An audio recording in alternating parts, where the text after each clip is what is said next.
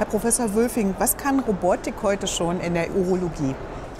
Die Robotik ist in der Urologie angekommen. Wir haben äh, tatsächlich insbesondere bei Tumorerkrankungen den Da Vinci Roboter in sehr vielen Operationen schon etabliert.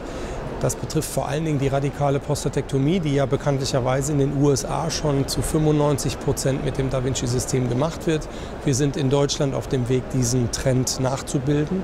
Aber auch andere Tumoroperationen, gerade nierenerhaltende äh, Tumoroperationen an der Niere, also die Nierentumor-Enukleation, die nierenerhaltenden Tumoroperationen sind äh, sicherlich auf dem Vormarsch durch die Technik in der, äh, mit der Robotik.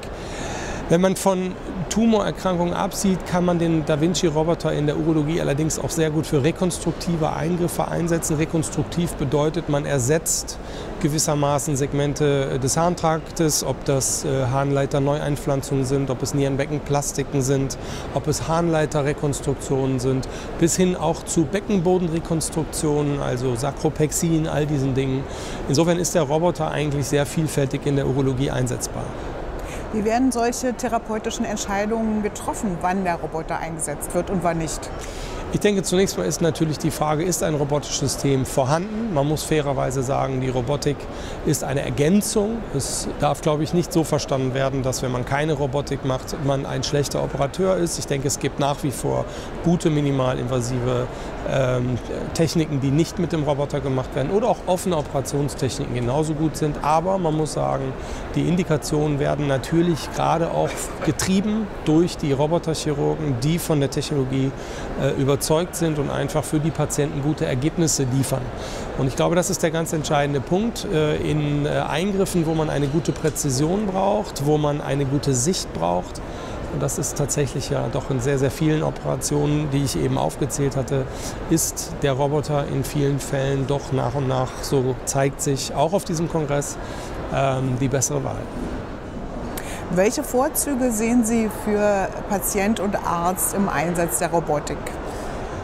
Zunächst mal muss man sagen, die Da Vinci-Technologie ist ja nicht selbstständig arbeitend. Es ist eine Robotertechnologie. Der Roboter operiert nicht den Patienten, sondern der Arzt operiert den Patienten. Der Roboter assistiert. Deswegen auch Roboter-assistiertes Verfahren.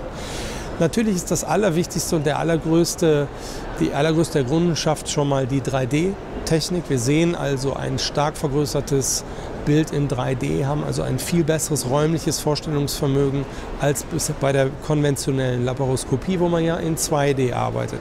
Das nächste ist, und das ist ganz erstaunlich, und jeder, der mal auch zur Probe an so einer Konsole gesessen hat, die Übertragung der Joysticks auf die Instrumente, also die, die Finger und Hände des Operateurs, die Übertragung eins zu eins auf die Instrumente, erzeugt eine wahnsinnig hohe Präzision, die ähm, eben für Eingriffe, wo es darum geht, Organe oder Strukturen zu erhalten, sich besonders positiv bemerkbar macht.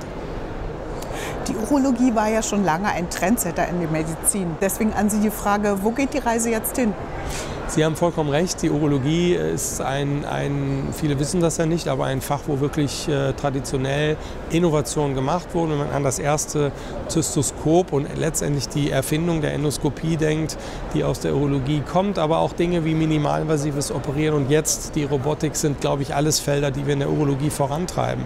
Wir beschäftigen uns sehr auch auf diesem Kongress mit der Zukunft, äh, mit so Schlagwörtern wie künstliche Intelligenz, Big Data. Ich denke, dass wir alle miteinander miteinander äh, sehr viel die Digitalisierung gerade erleben, selber noch nicht genau wissen, wie sie sich bemerkbar machen wird, aber ich glaube, wir äh, setzen uns auch sehr stark damit auseinander, wie man eben diese Trends in der Urologie zum Nutzen der Patienten einsetzen kann. Da ist schon einiges auf dem Weg, anderes muss sich noch äh, zeigen und beweisen, aber ich denke, wir sind als Fachgesellschaft hier gut aufgestellt und gut auf dem Weg für die Patienten. Vielen Dank.